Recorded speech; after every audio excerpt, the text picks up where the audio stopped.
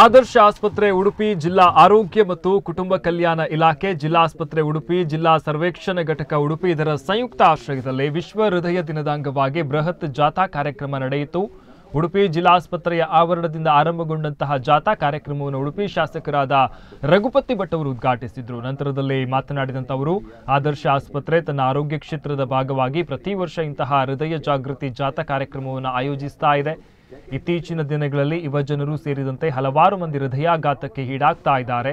ಆರೋಗ್ಯದ ಕುರಿತಾಗಿ ಜಾಗೃತಿಯಿಂದಾಗಿ ವೈದ್ಯಕೀಯ ಪರೀಕ್ಷೆಗೆ ಒಳಪಡುವಂತಹ ಜನರ ಸಂಖ್ಯೆ ಕೂಡ ಏರಿಕೆ ಕಂಡಿದೆ ಅಂತ ಅವರು ಹೇಳಿದರು.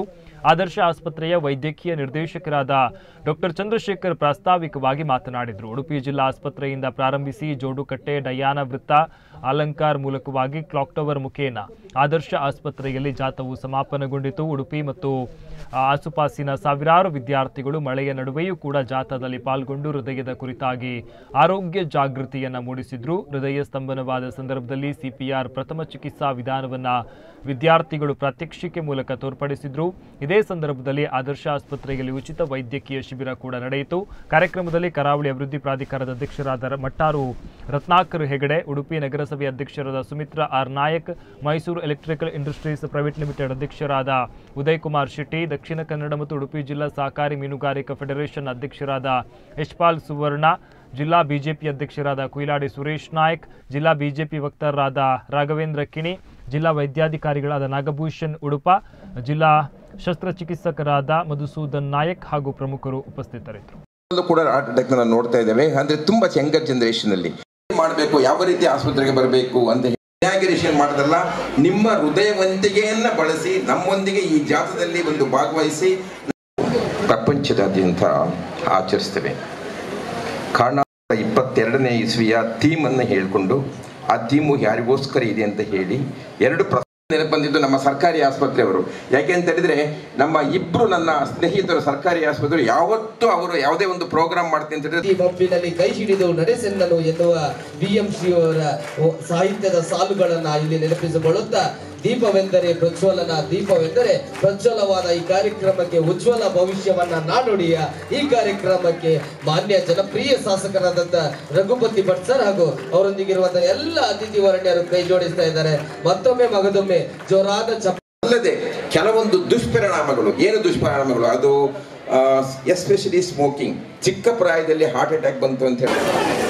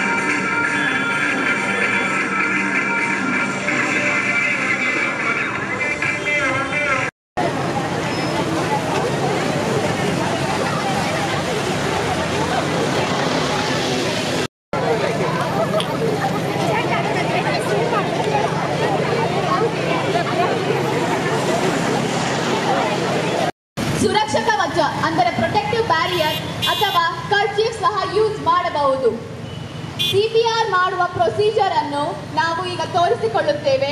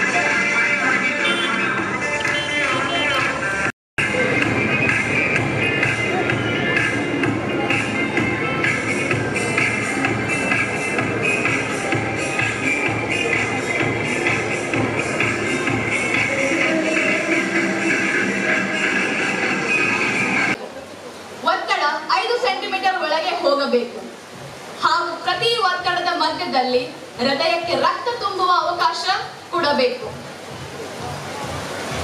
ಮೂವತ್ತು ಸಲ ಒತ್ತಡ ಹಾಕಬೇಕು. ನಂತರ ತಕ್ಷಣ ಎರಡು ರೆಸ್ಕ್ಯೂ ಬ್ರೆತ್, ಅಂದರೆ ಪಾರುಗಾಣಿಕ ಉಸಿರು ನೀಡಬೇಕು. ಅದು ಹೇಗೆ ಅಂದರೆ, ಗಲ್ಲವನ್ನು ಮೇಲಕ್ಕೆತ್ತಿ ಮೂಗನ್ನು ಒತ್ತಿ ಹಿಡಿದು ಬಾಯನ್ನು ತೆರೆದು ಉಸಿರನ್ನು ನೀಡಬೇಕು. ಕೃತಕ ಉಸಿರಾಟ ಬಾಯಿಂದ ಬಾಯಿಗೆ ಕೊಡಬೇಕು. ಪುನಃ ತಕ್ಷಣ ಎದೆಯ ಮೇಲೆ ಒತ್ತಡ ಹಾಕಬೇಕು.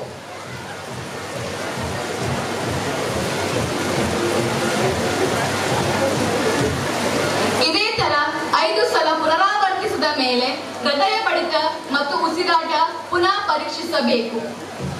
ವೈದ್ಯಕೀಯ ಸಹಾಯ ಸಿಗುವವರೆಗೆ ಅಥವಾ ಆಸ್ಪತ್ರೆಗೆ ತಲುಪುವವರೆಗೆ ಇದೇ ತರ ಸೇಮ್ ಸೈಕಲ್ ಅನ್ನ ಕಂಟಿನ್ಯೂ ಮಾಡಬೇಕು. ಸಮಾಜಕ್ಕೋಸ್ಕರ ಉಪಯೋಗಿಸಿ use heart for every heart ಇದು ಈ ವರ್ಷದ ಥೀಮು ಅಂದರೆ ನಮ್ಮ ಹೃದಯವನ್ನು ಹೃದಯವಂತಿಕೆಯಿಂದ ಬಳಸಿ, ಹೃದಯವನ್ನು ಹೆಚ್ಚಾಗಿ ಕಾಪಾಡಿಕೊಳ್ಳಿ ಅಂತ ಬಿಟ್ಟು ಅಲ್ಲಿ ಸುಮಾರು ನೂರಕ್ಕೆ ಇಪ್ಪತ್ತೈದು, ಮೂವತ್ತರಿಂದ ಮೂವತ್ತೈದು ಪರ್ಸೆಂಟು ನಾವು ದೇಹ ತೂಕಕ್ಕಿಂತ ಜಾಸ್ತಿ ಇದ್ದೇವೆ, ನನ್ನನ್ನು ಸೇರಿಕೊಂಡು. ಸೊ ಹಾಗಾಗಿ ಆದರ್ಶ ದೇಹ ತೂಕ ಒಂದು ಕ ಹೋಗಿಬಿಟ್ರೆ ಏನಾಗ್ತದೆ ಅಂತ ಹೇಳಿದ್ರೆ, ನಮಗೆ ಸಾಕಷ್ಟು ಕಾಯಿಲೆಗಳು ನಮಗೆ ಬರ್ತದೆ. ಅದು ಬ್ಲಡ್ ಪ್ರೆಷರ್ ಇರ್ಬೋದು ಡಯಾಬಿಟಿಸ್ ಇರ್ಬೋದು, ಅಥವಾ ಕೊಲೆಸ್ಟ್ರಾಲ್ ಜಾಸ್ತಿ ಇರ್ಬೋದು ಅಥವಾ ಹೃದ್ರೋಗದ ಬಾಧೆಗಳು ಇರ್ಬೋದು. ಈಗ ಆ್ಯಸ್ ಆನ್ ಟುಡೇ ಎರಡು ಸಾವಿರದ ಇಪ್ಪತ್ತೆರಡನೇ ಇಸ್ವಿನಲ್ಲಿ ಸಾಮಾನ್ಯವಾಗಿ ನಮಗೆ ಹೃದಯಾಘಾತದಿಂದ ಡೆತ್ ಆಗೋರು ನಾವು ಡೆತ್ ಆಗ ಸಗೊಂಡಾಗ ಇಪ್ಪತ್ತು ಏಳು ಪರ್ಸೆಂಟು ಹೃದಯಘಾತದಿಂದ ಡೆತ್ ನೂರಲ್ಲಿ ಇಪ್ಪತ್ತೇಳು ಜನ ಹೃದಯಘಾತದಿಂದ ಡೆತ್ ಆಗ್ತಾರೆ. ಬೇರೆ ಕಾರಣಗಳಿಂದ ಎಪ್ಪತ್ತ್ಮೂರು ಜನ ಡೆತ್ ಆಗ್ತಾರೆ. ಸೊ ಹಾಗಾಗಿ ಈ ಹೃದಯವನ್ನು ನಾವು ಹೇಗೆ ಕಾಪಾಡ್ಕೋಬೇಕು ಅಂತ ಹೇಳಿದರೆ the simple things what I would like to tell is ಒಂದು ಅಂತ ಹೇಳಿದರೆ, ನಮ್ಮ ಹೃದಯವನ್ನು ಕಾಪಾಡಿಕೊಳ್ಳಿಕ್ಕೆ ಒಂದು ನಾವು ಆದರ್ಶ ದೇಹ ತೂಕವನ್ನು ಕಾಪಾಡಿಕೊಳ್ಬೇಕು. ನಂಬರ್ ಒಂದು. ನಂಬರ್ ಎರಡು, ಆದರ್ಶ ದೇಹ ತೂಕವನ್ನು ಕಾಪಾಡಿಕೊಂಡು ಅಕಸ್ಮಾತ್ ನಮಗೆ ಡಯಾಬಿಟೀಸ್ ಇದ್ದರೆ ಡಯಾಬಿಟೀಸ್ನ ಉತ್ತಮವಾಗಿ ಕಂಟ್ರೋಲ್ ಮಾಡ್ಕೋಬೇಕು, ದೇಹದ ಕೊಲೆಸ್ಟ್ರಾಲ್ ಲೆವೆಲನ್ನು ಕಂಟ್ರೋಲ್ ಮಾಡ್ಕೋಬೇಕು, ಅದಲ್ಲದೆ ಬ್ಲಡ್ ಪ್ರೆಷರನ್ನ ಹತೋಟಿಯಲ್ಲಿ ಇಟ್ಕೋಬೇಕು. ಅದು ಅಲ್ಲದೆ ನಾವು ಏನು ಹೇಳ್ತೇವೆ ಅಂತ ಹೇಳಿದರೆ, ಪ್ರತಿ ದಿವಸ ಅಟ್ಲೀಸ್ಟ್ ಒಂದು forty five minutes a day at least for five days a week ನಾವು ಅದನ್ನು ಎಕ್ಸಸೈಸ್ ಮಾಡಬೇಕು. ಇವತ್ತೊಂದು ಜಾಥವನ್ನು ಆದರ್ಶ ಆಸ್ಪತ್ರೆ ಹಮ್ಮಿಕೊಂಡಿದೆ. ನಾನು ವಿಶೇಷವಾಗಿ ಆದರ್ಶ ಆಸ್ಪತ್ರೆಯ ಆಡಳಿತ ಮಂಡಳಿಗೆ ವಿಶೇಷವಾಗಿ ಡಾಕ್ಟರ್ ಚಂದ್ರಶೇಖರ್ ಅವರಿಗೆ ವಿಶೇಷವಾದಂಥ ಅಭಿನಂದನೆಯನ್ನು ಸಲ್ಲಿಸ್ತಾ ಇದ್ದೇನೆ. ಆದರ್ಶ ಆಸ್ಪತ್ರೆ ಹೃದಯ ದಿನ ಆಚರಿಸುವಂಥದ್ದು ಅವರ ಒಂದು ವಿಭಾ, ಅವರ ಆರೋಗ್ಯ ವಿಭಾಗದ ಒಂದು ಭಾಗ. ಆದರೆ ಶಿಕ್ಷಕರ ದಿನಾಚರಣೆಯನ್ನು ಶಿಕ್ಷಕರಿಗೆ ಸನ್ಮಾನ ಮಾಡಿ ಆಚರಣೆ ಮಾಡ್ತಾರೆ. ಅದು ಅವರ ವೈಶಿಷ್ಟ್ಯ ಅಂತ ನಾನು ಭಾವಿಸ್ತಾ ಇದ್ದೇನೆ. ಹಾಗಾಗಿ ಅವರಿಗೆ ಅಭಿನಂದನೆ ಸಲ್ಲಿಸ್ತೇನೆ. ಇದರಲ್ಲಿ ದೊಡ್ಡ ಸಂಖ್ಯೆಯಲ್ಲಿ ನಮ್ಮ ವಿಶೇಷವಾಗಿ ನರ್ಸಿಂಗ್ ಕಾಲೇಜ್ನ ಸ್ಟೂಡೆಂಟ್ಸ್ಗಳು ಜಾಸ್ತಿ ಇರ್ಬೋದು. ನರ್ಸಿಂಗ್ ಕಾಲೇಜ್ನ ಸ್ಟೂಡೆಂಟ್ಸ್ಗಳಲ್ವಾ ಎಲ್ಲ ನರ್ಸಿಂಗ್ ಕಾಲೇಜಿನ ಸ್ಟೂಡೆಂಟ್ಸ್ ಮತ್ತು ಫ್ಯಾಕಲ್ಟೀಸ್ ನೀವು ಬಂದಿದ್ದೀರಿ ನಿಮಗೆ ಶುಭ. ಯಾಕಂದರೆ ನೀವೇ ಮುಂದೆ ನಮ್ಮೆಲ್ಲರ ಆರೋಗ್ಯವನ್ನು ಉಡುಪಿಯಲ್ಲಿ ಕಾಪಾಡುವಂಥವ್ರು. ಡಾಕ್ಟರ್ಸ್ ಮತ್ತು ನರ್ಸ್ದವರು ಹಾಗಾಗಿ ನಿಮಗೆಲ್ಲರಿಗೆ ಶುಭಾಶಯ ಸಲ್ಲಿಸ್ತೇನೆ. ಇವತ್ತು ವಿಶ್ವ ಆರೋಗ್ಯ ದಿನವನ್ನು ನಾವು ಹೆಚ್ಚು ಅರ್ಥಪೂರ್ಣವಾಗಿ ಆಚರಿಸಬೇಕಾಗ್ತದೆ. ಯಾಕಂದರೆ ಹೆಚ್ಚು ಕೇಸಸ್ಗಳು ಇವತ್ತು ಬರುವಂತಹದ್ದು sudden heart attack heart attack ಆಗಿ ಕೊಲಾಪ್ಸ್ ಪುನೀತ್ ರಾಜ್ಕುಮಾರ್ ರದ್ದು ನಡೆದ ನಂತರ ಅದು ಹೆಚ್ಚು ಎಲ್ರಿಗೂ ಭಯ ಬರುವಂಥ ಪ್ರಾರಂಭ ಆಗಿದೆ. ಈಗ ಆಸ್ಪತ್ರೆಗೆ ಎಲ್ಲರೂ ಫುಲ್ ಚೆಕಪ್ಪಿಗೆ ಬರುವಂಥ ಸಂಖ್ಯೆ ಜಾಸ್ತಿ ಆಗಿರ್ಬೋದು. ಯಾಕಂದರೆ ಜಾಗೃತೆಯ ದೃಷ್ಟಿಯಿಂದ. ಆದರೆ ಈ ಒಂದು ವಿಶ್ವ ಹೃದಯ ದಿನವನ್ನು ಆಚರಿಸಿ ನಮ್ಮ ಜನರಿಗೆ ಆರೋ ಹೃದಯವನ್ನು ಸುಸ್ಥಿತಿಯಲ್ಲಿಡಲಿಕ್ಕೆ ಯಾವ ರೀತಿ ಮಾಡಬೇಕು ಅಂತ ಹೇಳುವಂಥದ್ದನ್ನು ಡಾಕ್ಟರ್ ಚಂದ್ರಶೇಖರ್ ಅವರು ವಿವರಿಸಿದರು. ಮತ್ತು ಸಡನ್ನಾಗಿ ಹೃದಯ ಸ್ತಂಭನಗೊಂಡ್ರೆ ಅದಕ್ಕೆ ಯಾವ ರೀತಿಯ ಟ್ರೀಟ್ಮೆಂಟ್ ಮಾಡಬೇಕು ಅಂತ ಹೇಳುವಂಥದ್ದನ್ನು ಹೇಳಿದರು. ಪ್ರಾಯಶಃ ಇದನ್ನು ನಾವು ಪಾಲಿಸಿಕೊಂಡು ನಮ್ಮ ಆರೋಗ್ಯವನ್ನು ಕಾಪಾಡಿಸುವಂಥ ದೃಷ್ಟಿಯನ್ನು ಮಾಡೋಣ. ಇನ್ನಿದು ನಾವು ವಿಶ್ವ ಹೃದಯ ದಿನಾಚರಣೆ ಅಂತೇಳಿ ಪ್ರಪಂಚದಾದ್ಯಂತ ಆಚರಿಸ್ತೇವೆ. ನಮ್ಮಲ್ಲಿ ಭಾರತ ದೇಶದಲ್ಲಿ ನಾವೀಗ ಕಳೆದ ಒಂದು ದಶಕದಿಂದ ಏನು ನೋಡ್ತಾ ಇದ್ದೇವೆ ಅಂತ ಹೇಳಿದ್ರೆ ಜನಸಂಖ್ಯೆ ಜೊತೆಯಲ್ಲಿ ಹೃದಯಕ್ಕೆ ಸಂಬಂಧಪಟ್ಟಂಥ ಕಾಯಿಲೆಗಳು, ಹೃದಯಾಘಾತ ಮತ್ತೆ ಸ್ಟ್ರೋಕ್ ಅಥವಾ ಪ್ಯಾರಾಲಿಸಿಸ್ ಅಂತ ಏನು ಹೇಳ್ತೇವೆ. ಇದರ ಸಂಖ್ಯೆ ಗಣನೀಯ ಪ್ರಮಾಣದಲ್ಲಿ ಜಾಸ್ತಿ ಆಗ್ತಾ ಇದೆ. ಬಹುಶಃ ಇನ್ನೊಂದು ದಶಕದಲ್ಲಿ ಜಗತ್ತಿನಲ್ಲಿ ಅತ್ಯಧಿಕ ಪ್ರಮಾಣದ ಹೃದ್ರೋಗಿಗಳ ಸಂಖ್ಯೆ ಬಹುಶಃ ಭಾರತದಲ್ಲಿ ಇರ್ತದೆ. ಇದಕ್ಕೆ ಮುಖ್ಯ ಕಾರಣ ಅಂತ ಹೇಳಿದ್ರೆ ನಮ್ಮಲ್ಲಿ ವ್ಯಾಯಾಮ ಇಲ್ಲದಿರುವಿಕೆ, ಬೊಜ್ಜುತನ, ತಪ್ಪು ಆಹಾರ ಪದ್ಧತಿ, ಹೃದಯದ ರಕ್ತದ ಒತ್ತಡ, ಮಧುಮೇಹ ಅಥವಾ ಡಯಾಬಿಟಿಸ್ ಅಂತ ಹೇಳ್ತೇವೆ, ಮಾನಸಿಕ ಒತ್ತಡ, ಕೆಲಸದ ಒತ್ತಡ ಇತ್ಯಾದಿ ಕಾರಣಗಳಿಂದ ನಮ್ಮಲ್ಲಿ ಹೃದಯ, ಹೃದಯಕ್ಕೆ ಸಂಬಂಧಪಟ್ಟಂಥ ಕಾಯಿಲೆಗಳ ಸಂಖ್ಯೆ ಜಾಸ್ತಿ ಆಗ್ತಾ ಇದೆ.